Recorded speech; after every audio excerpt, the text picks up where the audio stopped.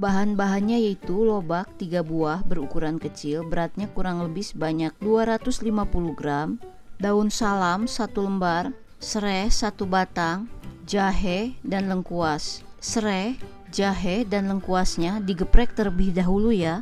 Daging sapi kurang lebih sebanyak 400 gram. Daging sapi telah saya rebus terlebih dahulu ke dalam air mendidih kurang lebih selama 2-3 menit lalu airnya saya buang garam secukupnya, bawang merah 3 siung, bawang putih 2 siung, pala bubuk kurang lebih sebanyak seperdelapan sendok teh, daun jeruk saya menggunakan daun jeruk berbentuk serbuk kurang lebih sebanyak seperdelapan sendok teh, namun jika menggunakan daun jeruk segar itu lebih baik, kurang lebih satu lembar, merica kurang lebih sebanyak seperempat sendok teh, tomat berukuran kecil sebanyak setengah buah. Saya menggunakan tomat apel segar yang telah matang. Kaldu sapi bubuk kurang lebih sebanyak setengah sendok teh. Gula pasir kurang lebih sebanyak setengah sendok teh. Kacang kedelai goreng secukupnya.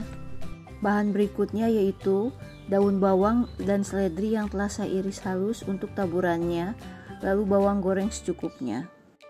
Dalam membuat soto Bandung ini, saya biasanya mengolah lobak terlebih dahulu, tidak langsung dimasukkan lobak mentah ke dalam air rebusan daging. Hal ini saya lakukan untuk mencegah atau mengurangi bau langu dari lobak mentahnya.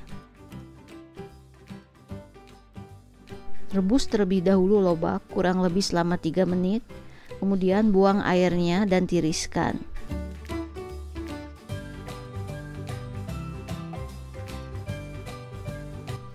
Pertama-tama, tumis terlebih dahulu serai, lengkuas, dan jahe yang telah digeprek, lalu masukkan juga daun salamnya. Tumis sebentar sampai wangi aromatiknya keluar.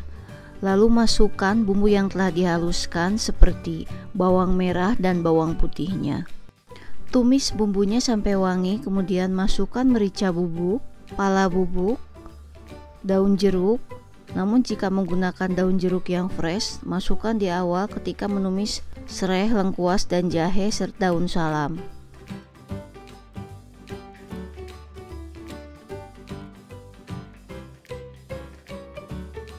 Setelah bumbu ditumis sampai matang, kemudian masukkan air secukupnya. Kurang lebih sebanyak 800 sampai 1000 ml lalu didihkan.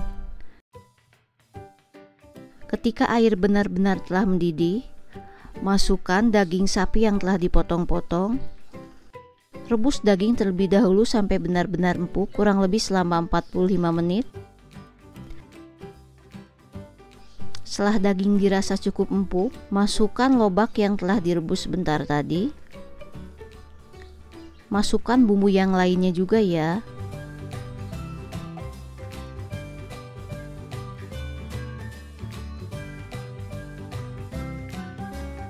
Kemudian rebus kembali sampai matang.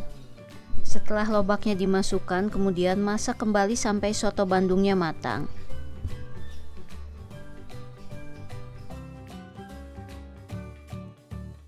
Soto bandungnya telah cukup matang, saya akan tes rasa.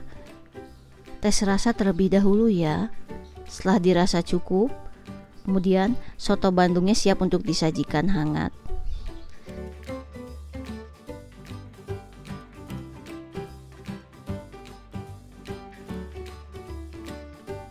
Soto Bandung ini saya berikan taburannya seperti bawang daun dan seledri yang telah saya iris halus.